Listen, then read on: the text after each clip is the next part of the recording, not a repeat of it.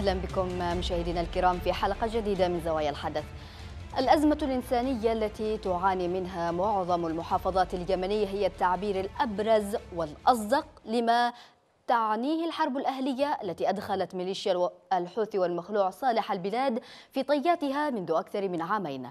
أزمة إنسانية خانقة ضربت ما تبقى من محاولات لإفلات اليمنيين من أتون المجاعة التي تؤكد كافة التقارير الأممية أن اليمن باتت أحد أكبر دول العالم جوعا وفقرا.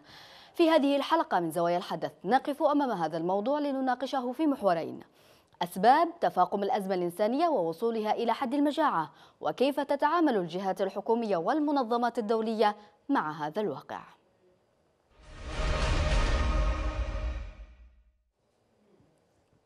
أكثر من 15 محافظة باتت على حافة الجوع الذي التهم حتى اللحظة قرابة سبع محافظات. الأمر الذي جعل الأمم المتحدة تقول إن اليمن تعاني من نذر مجاعة هي الكبرى في العالم إذا لم يتم تدارك الأمر.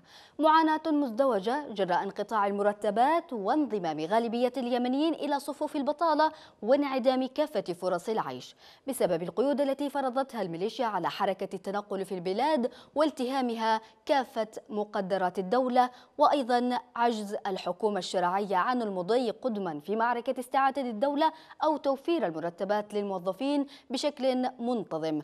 ما يزال المواطن المواطن اليمني وحده من يدفع ثمن ذلك كل يوم. قبل أن نبدأ النقاش نذهب لمتابعة هذا التقرير. ترتفع وتيرة المواجهات وتعود المعارك إلى بدايتها ومع كل تجدد لحرب دخلت عامها الثالث تقل احتمالية النجاة من شبح المجاعة والكوارث الإنسانية المتفاقمة. معادلة باتت تؤكدها التقارير الدولية كل يوم. في بلد وصل به تدهور الأمن الغذائي إلى أدنى مستوياته فيما دخلت غالبية المحافظات مرحلة الخطر. وأمام واقع سوداوي يعجز الكثيرون عن التعبير عنه أطلق ناشطون في صفحات التواصل الاجتماعي حملة تحت عنوان أنا جيعان تعبيرا عما وصل إليه الحال من تدهور معيشي انعكس على جميع المستويات الأسرية داخل المجتمع وأدى إلى التفكك الأسري في مراحل كثيرة. مفوضية الأمم المتحدة للاجئين رفعت من مستوى تحذيراتها هذه المرة لتصل إلى التأكيد على احتمال موت الكثيرين بسبب الجوع في اليمن. هذه التحذيرات تأتي بعد شهر من تحذير منسق الإغاثة الطارئة في الأمم المتحدة ستيفن أوبراين. الذي أكد أن 20 مليون شخص يواجهون الموت جوعا في اليمن وجنوب السودان والصومال. وأمام توقعات من حدوث أزمة أسوأ من تلك التي وقعت في القرن الأفريقي عندما لقي 260 ألف شخص حتفهم بسبب المجاعة تقول الأمم المتحدة إن نحو 19 مليون يمني بحاجة للمساعدات. وإن بضعة ملايين منهم سيلقون حتفهم إن لم يتم تدارك الأمر بأسرع وقت. الإحصاءات التي أوردتها الأمم المتحدة وغيرها من المنظمات عادت أسبابها إلى عدم إمكانية إدخال المساعدات وارتفاع أسعار المواد الغذائية فضلا عن عوامل أخرى أدت إلى انعدام الأمن الغذائي بالكامل. حرب التهمت كل شيء ولم تبق في هذه البلاد مكانا إلا وأوصلت إليه كل الأزمات. وفي كل مرحلة من مراحل هذه الحرب الطويلة وحدهم المواطنون من يدفعون ضريبتها كل يوم. أهلا بكم من جديد مشاهدينا الكرام ونبدأ الحلقة مع محمد الأسعدي المتحدث باسم اليونيسف في اليمن الذي ينضم إلينا عبر الهاتف من صنعاء. مرحبا بك سيد محمد. و ما زالت تتوالى التحذيرات التي تصدرها الأمم المتحدة عن واقع المجاعة في اليمن وتتوالى التقارير آه، للمنظمات آه، التي ترتفع فيها إحصائيات وأعداد الجوعى ولكن دون أي حلول على آه، الواقع أو إنقاذ هؤلاء ما السبب بذلك يا أستاذ محمد؟ كيف يمكن تفادي هذه الكارثة التي توشك اليمن على دخولها؟ آه، من المؤسف أن نؤكد آه، مرارا وتكرارا أن الأزمة الإنسانية في اليمن هي واحدة من أكبر الأزمات في العالم إن لم تكن الأزمة الإنسانية آه، الكبرى على الإطلاق من بعد الحرب العالمية الثانية. نعم. هناك أكثر من ثلثي السكان في البلاد بحاجة إلى مساعدات إنسانية عاجلة. هؤلاء الناس لا يجدون وربما تتوفر لديهم وجبة واحدة باليوم ولا يؤمنون الوجبة التالية وبالتالي يضع الملايين من اليمنيين في في في مواجهة مباشرة مع خطر الجوع. هذه هذه هؤلاء بشر هؤلاء أشخاص كانوا يعملون وكان لديهم مصادر دخل كان لديهم من يعولهم. ولكن الآن مع استمرار الحرب ودخولها في العام الثالث تعطلت سبل الحياة بشكل كبير. اضطرت الأسر إلى استنفاذ كل المدخرات والمخزون الذي كان لديها وبالتالي الآن أصبحت على شفا جرف نهار نستطيع أن نقول ذلك. نعم. أكثر من مليونين و ألف طفل يعانون من سوء التغذية الحاد الفي يعني قرابة نصف المليون طفل منهم يعانون من سوء التغذية الحاد الشديد الذي يعرضهم للوفاة. ملايين اليمنيين ينامون ببطون خاوية ويستيقظون على أمل أن تأتي مساعدة من مكان ما دون دون دون وصول المساعدات الكافية لكل الأسر والمحتاجين. الأسباب كثيرة جدا تتمثل باستمرار الحرب، تتمثل بارتفاع منسوب الفقر، تتمثل بالتدهور الاقتصادي الذي تشهده البلاد، الاحتراب السياسي برواتب الموظفي الدولة، نعم. أكثر من مليون و ألف موظف من موظفي الدولة لا يحصلون على الرواتب، وهؤلاء يعيلون آلاف ملايين الأسر.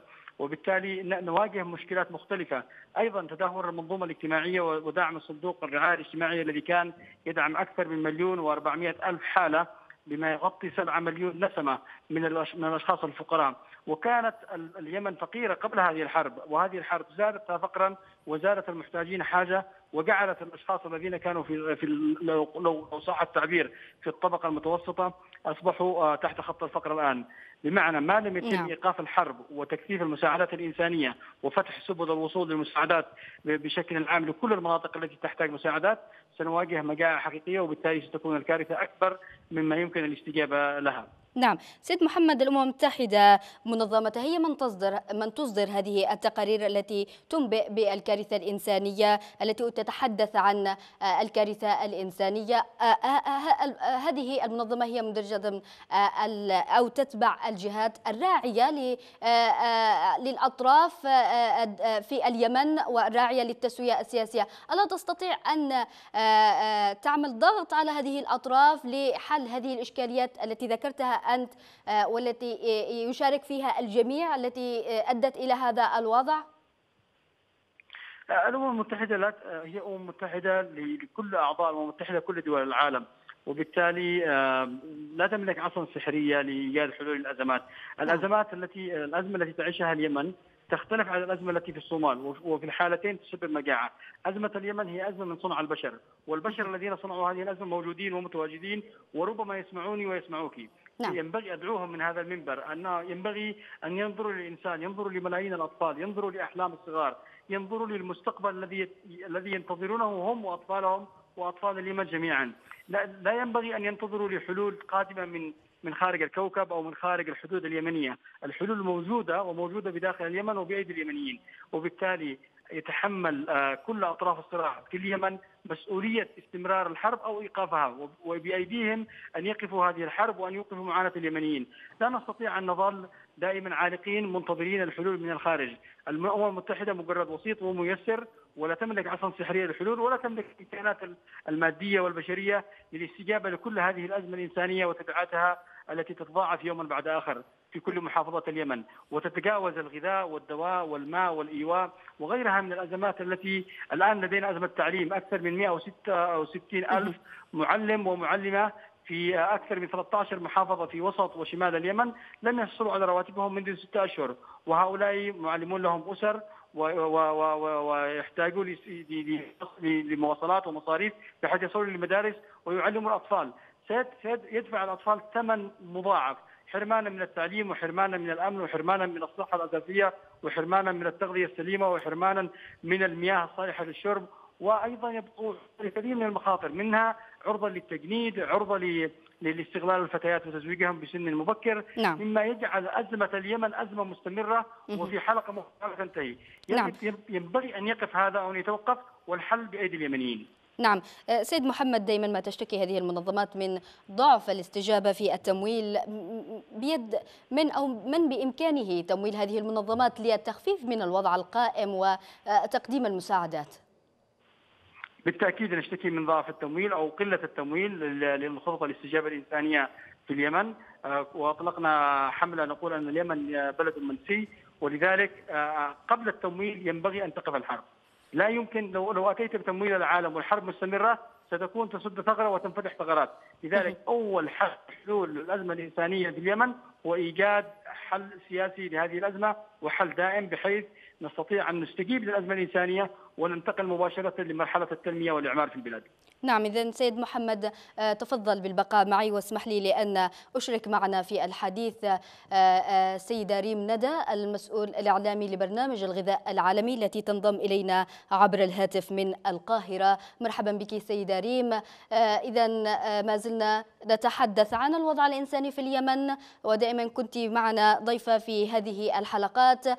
تقارير المنظمات الدولية الآن تكشف عن مستوى خطير وكارثي من أزمة الغذاء أنت كنت تحدثت في حلقة سابقة أنكم في برنامج الغذاء العالمي تسعون في آه، برنامج معين لرفع مستوى الاستجابة الدولية لتمويل المنظمات لتجاوز هذا آه، آه، الوضع هل هل هنالك أي جديد في هذا الخصوص؟ نعم هو أعلن برنامج الأغذية اليوم أنه بصدد توسيع عملياته في اليمن. نعم. وذلك من شأنه أن نزيد آه، تقديم المساعدات الغذائية آه، لنصل لنحو تسعة آه، ملايين شخص في اليمن يحتاجون الإغاثة بشكل عاجل. طبعا من ضمن هؤلاء أيضا المهاجرين الذين بعدهم موجودين في اليمن. ولكن يجدر الإشارة إلى أن يعني من هؤلاء التسعة ملايين شخص هناك أيضا نساء وأطفال.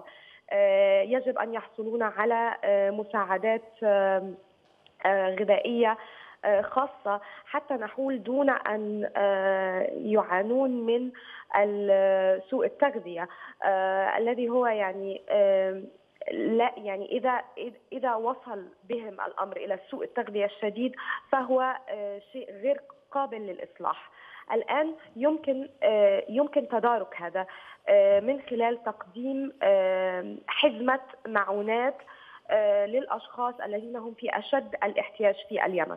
طبعا بالنسبة لنقص التمويل هي مشكلة كبيرة تواجه كل العاملين بمجال الإغاثة في اليمن. بالنسبة لنا كبرنامج الأغذية العالمي نحن نحتاج من أجل أن نصل إلى هؤلاء تسعة ملايين على آه، في خلال السنة القادمة آه، من الآن وحتى نهاية آه، شهر مارس 2018 نحتاج إلى مليون عفوا إلى مليار و200 مليون دولار أمريكي. طبعا هو رقم كبير. حتى الآن يعني لم نؤمن منه سوى جزء صغير جدا ولذلك في شهر إبريل ومايو الآن نعم. آه نحن آه يعني نعطي الأولوية آه إلى الأشخاص الذين يعيشون آه في مناطق هي آه معرضة للانزلاق إلى المجاعة نعم. إذا لم آه، يتم مساعدتهم بشكل كبير فهناك 2.5 مليون شخص سوف يتلقون مساعدات غذائية حصة غذائية كاملة تكفي 100% من احتياجاتهم الشهرية. كذلك نعم. هناك آه، آه، أربعة أكثر من أربعة ملايين شخص سيتلقون 60% من الحصة الغذائية في الشهرين القادمين. طبعا برنامج الأغذية العالمي آه، يعني يأمل أن يؤمن الموارد المالية اللازمة حتى يستطيع بعد ذلك أن آه، يستمر في تقديم المساعدات لهؤلاء الأشخاص وكذلك آه، الوصول إلى التسعة ملايين نعم إذا سيدة ريم هل هنالك لدى برنامج الغذاء العالمي خطط آه، لزيادة التمويل ليستطيع تلبية هذه الاحتياجات التي تحدثت عنها كيف يمكن الضغط على الجهات الدولية المانحة لتوفير أو لسد هذا العجز في التمويل؟ في الخامس والعشرين من الشهر الحالي الجاري هناك آه، مؤتمر مانحين آه، في جنيف. آه، نأمل من خلاله أن يتم يعني أن يتم التعهد بإنقاذ اليمن. وتمويل عمليات برنامج الأغذية العالمي وتوفير الاحتياجات اللازمة آه، لملايين الأشخاص في اليمن. طبعا بدون هذا التمويل لن نستطيع الوصول لكل الأشخاص الذين نعم. آه، نستهدفهم في اليمن. آه، نحن لا نريد أن نترك شخص واحد يحتاج إلى المساعدة بدون مساعدة ولكن بدون تمويل لن نستطيع تأمين هذا. نعم سيدة ريم ماذا بالنسبة لسلاسة دخول المساعدات إلى اليمن؟ آه، هل تستطيعون إيصال المساعدات إلى كافة مناطق اليمن أم أن هنالك مشاكل؟ وعراقيل تواجهكم أثناء تأدية عملكم؟ طبعا آه، هناك تحديات كبيرة. آه، واجهها برنامج الأغذية العالمي على مدار العامين الماضيين حتى مؤخرا في شهر فبراير. يعني وصلنا إلى عدد قياسي من الأشخاص في شهر واحد وهو خمسة ملايين وثلثمائة ألف شخص نعم. و300 5 ملايين و300 ألف شخص معا في 17 محافظة يمنية ولكن طبعا كما ذكر زميلي هناك الحاجة إلى توافق سياسي نعم.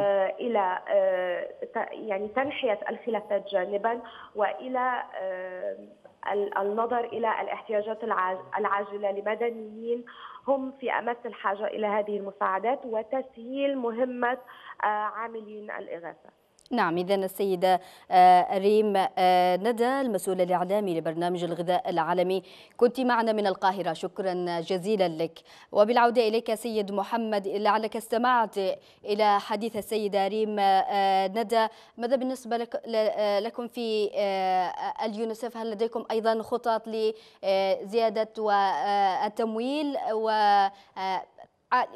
لرفض المنظمات هذه بالتمويل التي تحتاجه لتأدية عملها؟ بالتأكيد نحن نتطلع لهذا المؤتمر الذي سينعقد في جنيف في الخامس والعشرين من الشهر الجاري وأيضا قد قمنا بإطلاق وتدشين خطة الاستجابة الإنسانية لليونيسف لعام 2017 والتي تحتاج 280 مليون دولار نعم. آه، ولدينا حتى الآن وفر من العام الماضي وأيضا بعض يصل إلى 30% تقريبا آه، يمكننا من العمل حتى آه، القادمه التكاليف الأشهر القادمة. آه، طبعا هناك اتفاق أيضا بين اليونيسف والبنك الدولي ومنظمة الصحة العالمية بتمويل قطاعي الصحة والتغذية في اليمن بمبلغ كبير والآن في ترتيبات لذلك ونتمنى من ذلك الحفاظ على النظام الصحي والنظام التغذوي في اليمن فيما يخص الأطفال لتوفير الرعاية الصحية الأساسية لهم وخصوص وللأمهات والمرضعات والحوامل. الاحتياجات في اليمن مهولة وكبيرة جدا. حتى نعم. وإن التمويل على التمويل اللازم آه، سيظل الوضع الأمني سيظل استمرار الحرب سيظل آلة الحرب آه، تلتهم كل كل هذه الخطط وكل هذه الاستجابات وكل هذه الأموال. ما لم يتم إيقاف الحرب عزيزتي لا يمكن أن يكون هناك آه، استجابة متكاملة لا يمكن هناك حلول للناس. الناس بحاجة إلى أن يتنفسوا سعداء أن يعودوا إلى وظائفهم يعودوا إلى أعمالهم أن تعود الخدمات الأساسية. الكهرباء عامان كاملان من دون كهرباء حتى الآن. في اليمن تعطلت الخدمات أصبحوا الناس يعتمدوا على ألواح الطاقة الشمسية سواء للإنارة أو لبعض الأعمال البسيطة أو أو تتعطل أعمالهم الأخرى التي تعتمد بشكل رئيس وكبير على الطاقة آه، الغير متوفرة، هناك مشاكل بما يتعلق بإمدادات المياه، نعم. مشاكل بإمدادات الإمدادات الصحية، عدم قدرة الحكومة على توفير النفقات التشغيلية للمرافق الصحية في الجمهورية. آه، عدم قدرتها على دفع المرتبات والأجور. كل هذه مشكلات تصب وتضاعف من الأزمة الإنسانية وبالتالي تجعل من جهود الإغاثة تجعل آه، تحديات آه، مكثفة ومضاعفة أمام جهود الإغاثة الدولية والمحلية والإقليمية. نعم آه، سيد محمد إذا ما تحدثنا عن الأطفال في اليمن آه، آه، كانت في الفترة السابقة هنالك مجاعة في أوساط الأطفال وسوء التغذية كيف هو الوضع الآن في في اليمن من حيث الأطفال وما زالت مستمرة برامج سوء مكافحة سوء التغذية بين الأطفال في اليمن؟ دعيني أقول لك أن في عام 2011 على سبيل المثال كان لدينا قرابة 260 آه، آه، وحدة تغذية علاجية.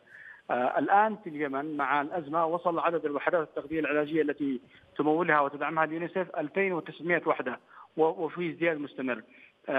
هذا بما يخص معالجة سوء التغذية بين الأطفال. كنت نعم. في عام 2014 أعطي تصريحات وأقول أن هناك 160 ألف طفل يعانون من سوء التغذية الحاد الحاد الشديد.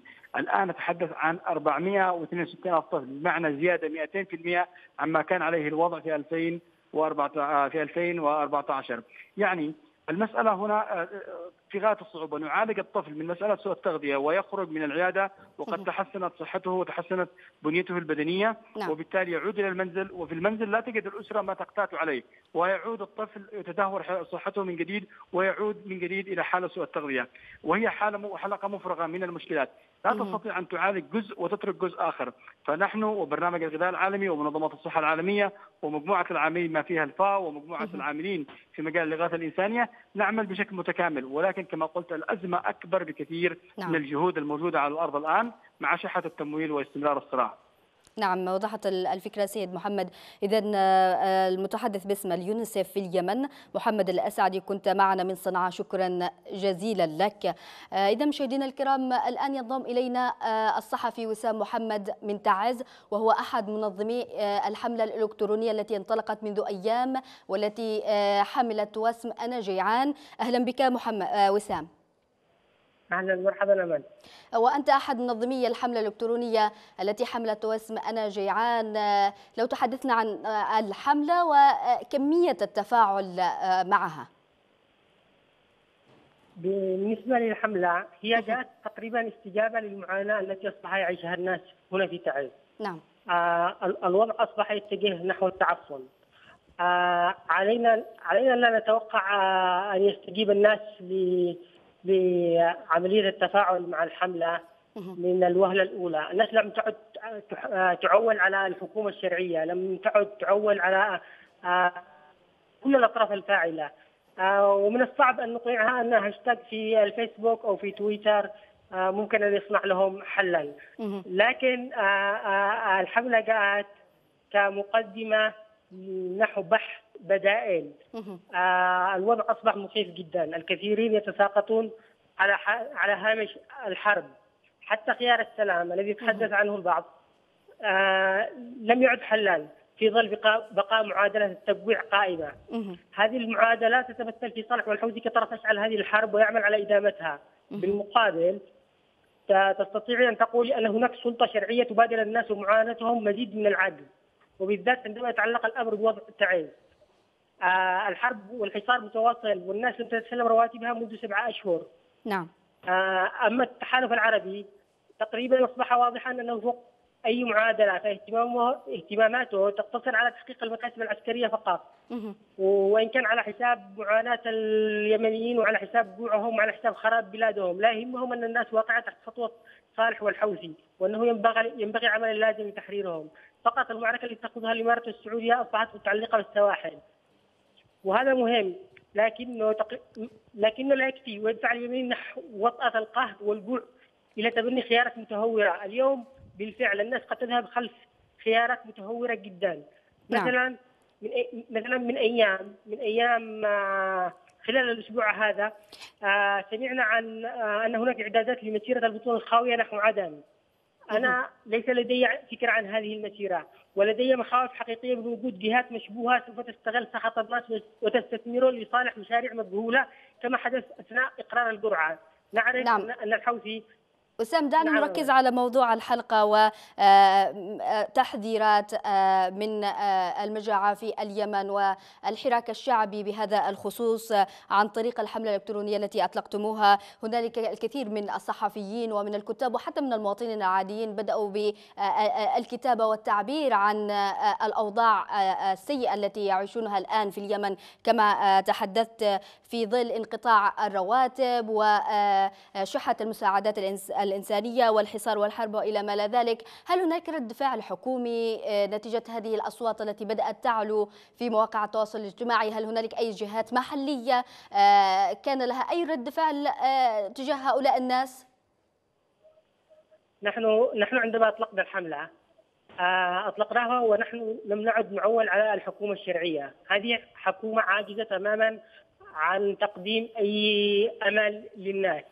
نعم بس أنت أنت آه. تحدثت وسام أن آه، أنكم لم تعولوا على أطراف الحرب ولكنك ولكنكم تسعوا للبحث عن بدائل، ما هي هذه آه، البدائل المتاحة أمام الناس؟ تقريبا الحل اليوم يكمن بضرورة وجود اقتراحات وعمل جديد وعلينا ألا نفقد الأمل بالأحزاب نهائيا، الأحزاب الثلاثة المسانده للشرعية والتي لديها خبرات نضالية وقاعدة شعبية واسعة على الأرض. أقصد الإصلاح الاشتراكي الناصري اصبح مطلوب من هذه الاحزاب اليوم أن تتجاوز أزمة الثقة التي هي سائدة بينها منذ اندلاع الحرب قبل عامين. في هذه اللحظة لم يعد الأمر باعتقادي يتعلق بالمكاتب السياسية والحسابات الضيقة. الأمر اصبح يتعلق بحياة الناس. لكن بالمقابل مطلوب من قوى ثورة فبراير التحرك وعدم الانتظار. عدم انتظار الأحزاب ولا أو الحكومة أو آه، المنظمات الدولية على شباب الثورة أن يفكر بالاقتراب من الناس ومعاناتهم وإبداع الطرق التي آه، تستطيع أن تخفف من وطأة المعاناة. المنظمات الاغاثيه لا يمكن أن تقدم حلا كاملا هي فقط آه، هي فقط تقريبا تستطيع تسكين الناس في بعض الوقت لكن شباب الثورة يقدرون على فعل الممكن نعم. وتنظيم نعم. أنفسهم في سبيل الهدف القديم الذي هو آه، إنتاج نظام سياسي نعم وسام وسام أنت صحفي أنت صحفي ونزلت آه، وزرت بعض المناطق خاصة في آه، الساحل الغربي وفي تعز وفي أرياف تعز.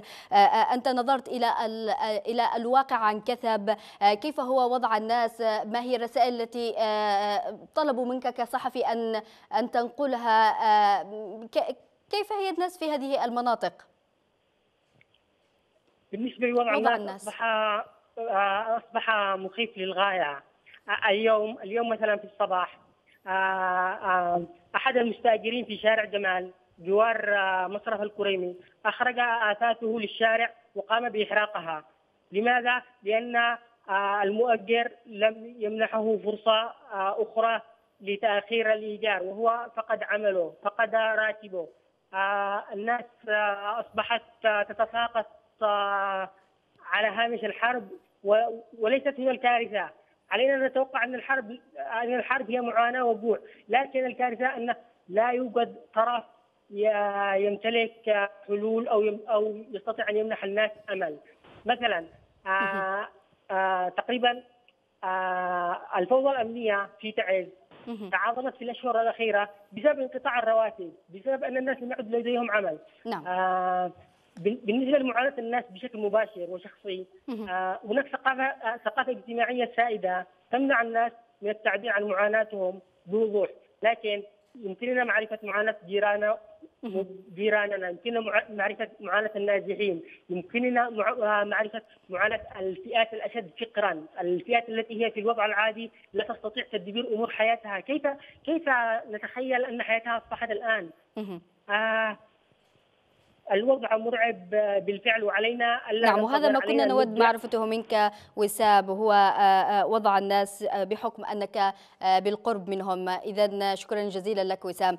الصحفي وسام محمد كنت معنا من تعز. إذا بهذا نكون وصلنا إلى نهاية هذه الحلقة. من زوايا الحدث مشاهدينا الكرام لا يسعني بالأخير إلا أن أشكر ضيوفي والذي كان معي من صنعاء السيد محمد الأسعد المتحدث باسم اليونسف في اليمن وكان معي من من القاهرة. ريم ندى المسؤول الإعلامي لبرنامج الغذاء العالمي والصحفي وسام محمد الذي كان معنا من تعز. هذه تحياتي أنا أمل علي وهي لكم من زميلي من الإعداد محمد عبد المغني. نلقاكم في حلقة أخرى إن شاء الله.